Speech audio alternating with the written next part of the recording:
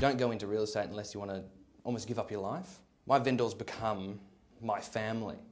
I really work closely with my vendors. I give all my time to them. The, the way you grow up and, and the environment that you've had really does impact on who you are as a person. And obviously, that then portrays as you know what you put out in the world and what you get back. And you only get back what you put out. My youth can be used as an advantage. I think it's the energy I put off. I think it's the vitality that I have. Trust is a massive thing.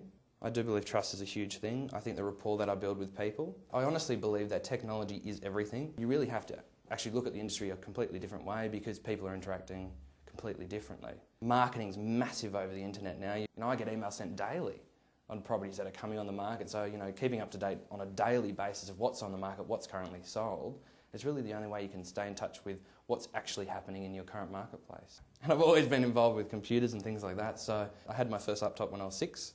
My goal is to make sure my clients achieve their goals. That's really what I'm after. I do everything I possibly can to achieve a sale or achieve their goal, whether it be, you know, they want to move somewhere else or they want to relocate in the area.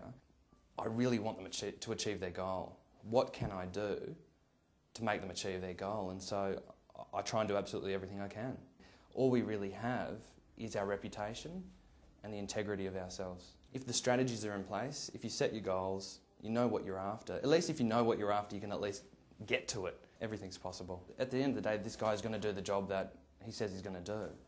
Because I do, you know, want to be in this industry for the rest of my life, really. As long as I can, because I enjoy it so much. Everything is possible.